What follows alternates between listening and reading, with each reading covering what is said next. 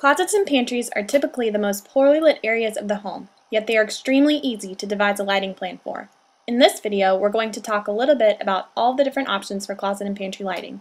We'll start off with the quick and easy solutions and make our way to more involved installations by the end of the video.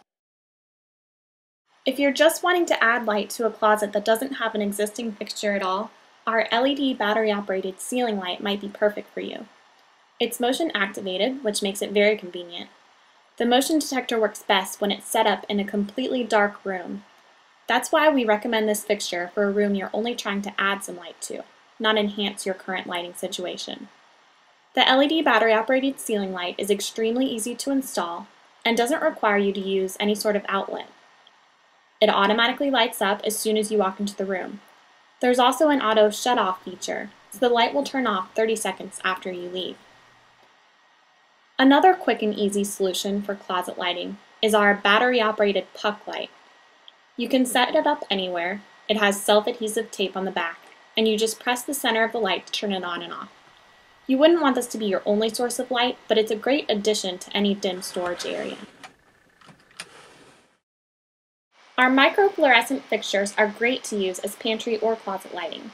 They are low profile, energy efficient, and bright enough to illuminate a large storage area.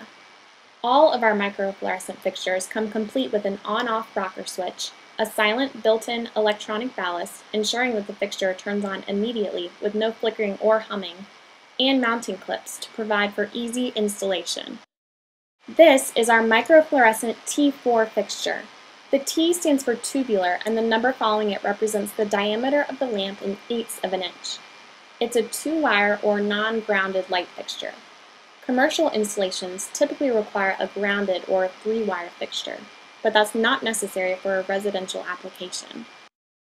It comes with a 6-foot power cord to plug into an existing electrical outlet, or it can be hardwired using an optional hardwired junction box. In addition, it is linkable, along with many on our website. You can directly connect two fixtures together, or use an optional linking cable if you want more space between the fixtures or are installing around a corner. As you can see here, these work very well if they are installed lining the door frames of a pantry or closet.